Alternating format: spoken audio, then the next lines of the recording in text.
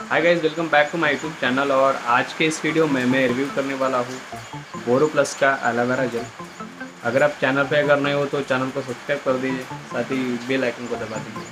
तो ये स्टार्ट करते हैं इसका रिव्यू आइए पहले बात कर लेते हैं प्रोडक्ट डिटेल के बारे में।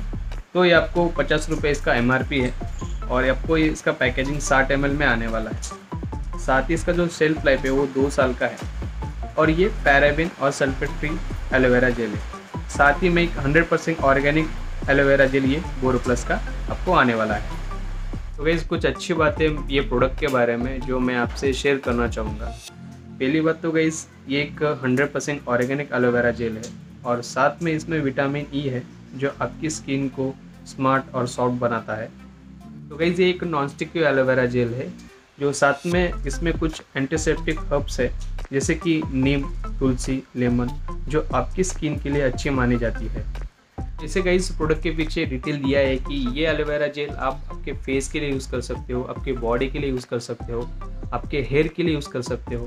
तो तीनों जगह ये एलोवेरा जेल आप यूज़ कर सकते हो। अगर गाइज़ ये एलोवेरा जेल आप एक फेस के लिए यूज़ कर सकते हो तो कुछ बेनिफिट्स प्रोडक्ट के पीछे दिए गए जैसे आप पढ़ सकते हो। जैसे पहला बेनिफिट है गाइज़ ये आपके पिंपल्स कम करेगा। साथ में गाइज़ आपके जो पोर्स है वो टाइट करेगा। ये सनबर्न को भी कंट्रोल करेगा और साथ में आपकी स्किन को एक मॉइस्चराइजर का काम ये एलोवेरा जेल करने वाला है।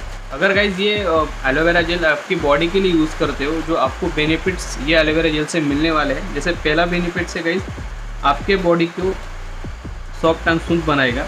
और दूसरा बेनिफिट है गाइज़ आपके बॉडी का जो रफनेस है, वो कंट्रोल में करेगा। अगर गाइज़ ये एलोवेरा जेल आप आपके हेयर के लिए यूज़ करते हो तो आपको जो पहला बेनिफिट्स मिलने वाला है गाइज़ आपका जो डेंड्रफ है वो कम करने का काम ये एलोवेरा जेल करने वाला है। और दूसरा बेनिफिट जो आपको मिलने वाला है कि आपके बालों को ये सॉफ्ट एंड शाइनी बनाएगा। तो गाइज़ तीन या चार दिन मैंने ये प्रोडक्ट यूज़ किया है और मैं मेरा पर्सनल एक्सपीरियंस आपके साथ शेयर करने वाला हूँ। और कुछ चीज़ें जो ये प्रोडक्ट के बारे में मुझे अच्छी नहीं लगी। और पहली बात तो गई इसका जो फ्रेगरेंस है वो काफ़ी इरिटेट करेगा आपको, काफ़ी स्ट्रॉन्ग फ्रेगरेंस मैं इसका कहूँगा। और दूसरी बात गई ये आपके स्किन को डल कर देता है। जब ये एलोवेरा जेल यूज़ करने के बाद आप ऑब्ज़र्व कर सकते हो, और मैंने खुद ये एक्सपीरियंस लिया है तो आपकी स्किन थोड़ी डलनेस लगेगी।